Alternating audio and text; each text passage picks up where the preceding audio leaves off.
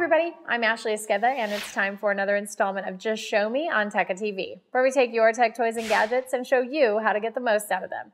Today I'm going to show you some great apps to help childproof your Android tablet. Now the iPad, in comparison, comes with a lot of parental restriction features. Well, the Android operating system doesn't exactly have those options available, but there are some great apps that can help you allow your child to use your Android tablet without having to worry about them accessing content they shouldn't be. The first app is Kid Mode, and what this does is it allows you to create a profile for each one of your kids, and you can actually keep them inside the app with child lock mode, so they can't have access to any of your Android operating system.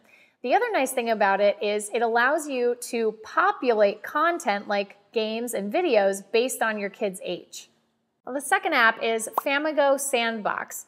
Now, Sandbox is a little bit different than Kid Mode in that instead of a pre-populated and pre-approved list of apps and games for your kids, what you can do with Sandbox is choose apps that you have installed on Android that your kids are able to play with. So if there's a couple of games they like, like Angry Birds, you're able to add that to the list of approved apps.